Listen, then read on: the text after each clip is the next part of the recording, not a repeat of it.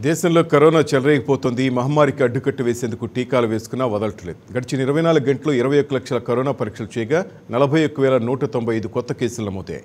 Virus బారిన పడి మరో నాలుగు వందల తొంభై మంది ప్రాణాలు కోల్పారు దీంతో మహమ్మారి బారిన పడి మృతి చెందిన వారి సంఖ్య మొత్తం నాలుగు లక్షల ఇరవై తొమ్మిది వేల ఆరు వందల అరవై తొమ్మిదికి చేరింది.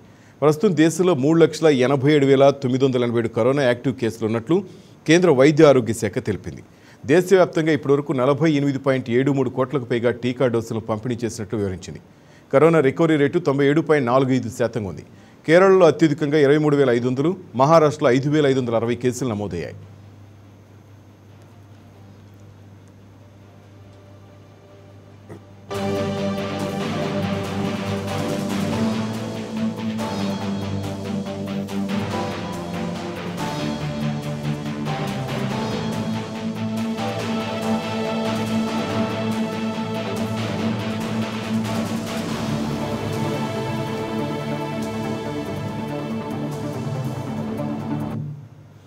కేరళలో వ్యాక్సిన్ వేయించుకున్న నలభై వేల మందికి పైగా వ్యక్తులకు కరోనా సోకడం అధికారులను కలవరపరుస్తోంది.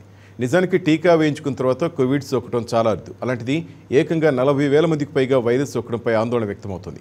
అంతేకాదు వ్యాక్సిన్ ద్వారా అభివృద్ధి చెందే రోగ నిరోధక శక్తి నుంచి వైరస్ ఎలా తప్పించుకుంటుందన్న ప్రశ్నలు కూడా ఉత్పన్నమవుతున్నాయి. తాజా కేసులతో అప్రమత్తమైన కేంద్ర ప్రభుత్వం జన్యుక్రమాన్ని కనుగొనేందుకు నమూనాలు పంపాల్సిందిగా కేరళ ప్రభుత్వాన్ని కోరింది.